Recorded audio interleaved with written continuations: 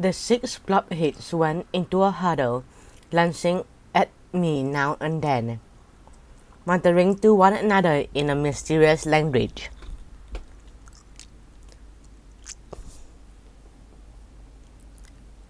Meanwhile, I was growing angry. How dare this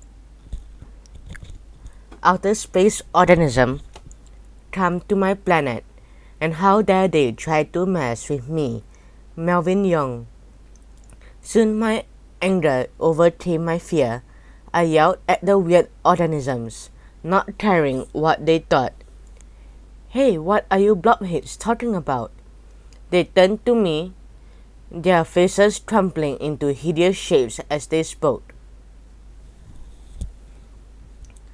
We do not trust you, Earthling, said one of them. We do not trust any human, said another. So you are going to be punished forever, said a third. How? I yelled defiantly.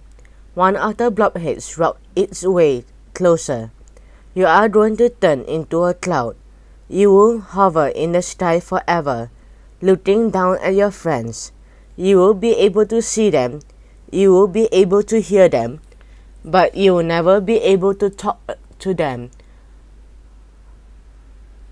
They would not even know you are in the cloud. They will that would be your fate. It was the sickest thing I have ever heard.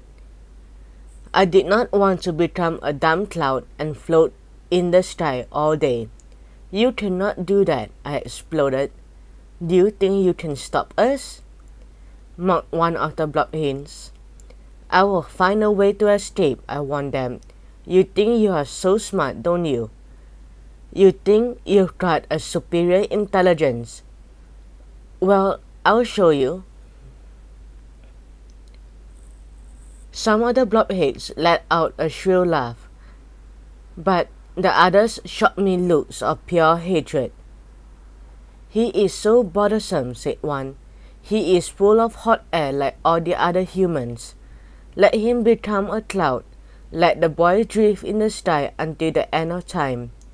I was about to shout at the blockheads and tell them just what I thought of them, but when I opened my mouth, oh no!